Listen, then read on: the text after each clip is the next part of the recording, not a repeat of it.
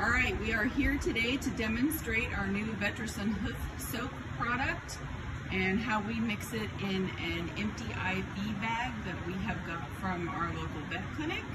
So we are gonna take the IV bag and Cami and Jenna are going to cut the top off of this IV bag.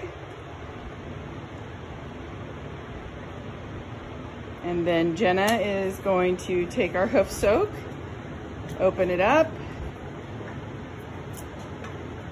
Dump it into our pre-measured gallon of water. Our Miller buckets have quart marks on them, so four quarts is a gallon. We're gonna stir the hoof soak powder until it's totally dissolved in the water.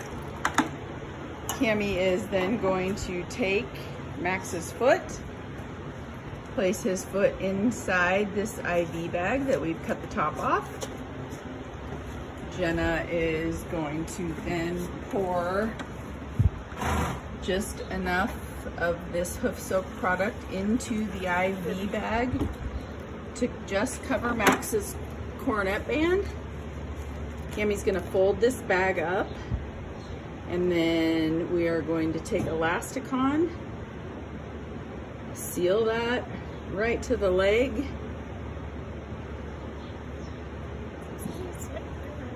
Take some scissors, cut your Elastikon off.